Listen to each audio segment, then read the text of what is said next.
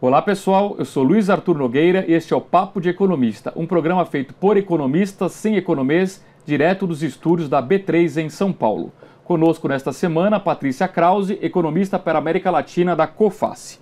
Patrícia, hoje é o último bloco da semana, as projeções econômicas. Começando com o desemprego. Você colocou aqui um desemprego de 12,9% neste ano, desemprego médio, uhum. e 11,4% no ano que vem. Ou seja, vai melhorar, é isso? Sim, a gente já está melhorando, né? Ele eh, chegou a um pico negativo de 13,7 ali em março, desde então vem caindo, já está em 12,6, uh, mas e chegando a 11,4 taxa média de 2018. Mas o ponto é que ainda é alto, vai ser bastante gradual com uma recuperação da economia, né? E esse indicador aqui é o do IBGE, então ele leva em consideração não só os trabalhadores com carteira assinada, como também trabalhadores autônomos ou Informais. sem carteira. Exatamente. É. E é exatamente esse componente que cresce mais, infelizmente. É um emprego em tese de menor qualidade. De menor né? qualidade.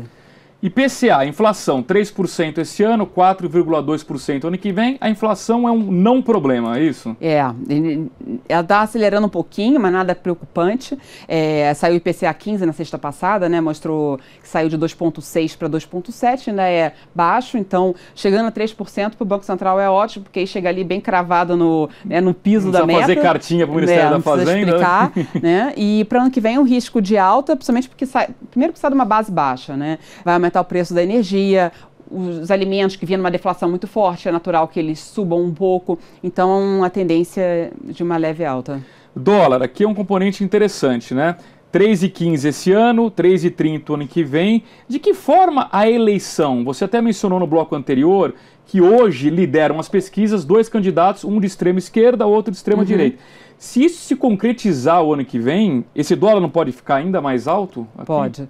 É, eu acho que o fato do, do câmbio estar tá em torno de 3,17, 3,15 é porque tá, falta muito tempo para as eleições. Então as pessoas interpretam que esse resultado né, da, da, da preliminares para a eleição são muito iniciais. Então não estão levando tanto em conta. Agora, se chegar no ano que vem, né, mais para o segundo semestre, e esses candidatos continuarem na frente, esse câmbio pode subir mais ainda.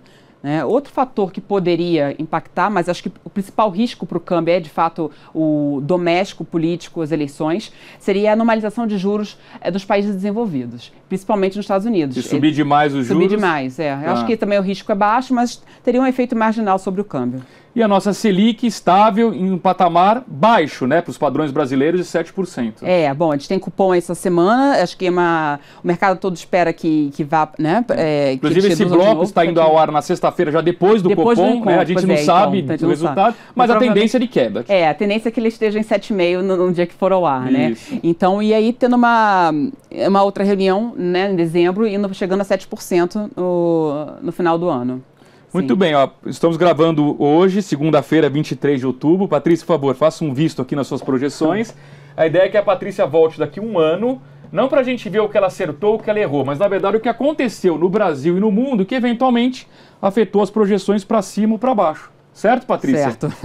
Muito bem. Aliás, ó, daqui um ano a gente vai estar no meio das eleições. Eleições, olha só. Hein? Vai câmbio, imaginar né? o que será esse segundo turno daqui um ano, é. hein? É, muito bem. Obrigado, Patrícia, Obrigada. pela presença. Eu agradeço você pela audiência. Um grande abraço, um ótimo fim de semana e até o programa da semana que vem.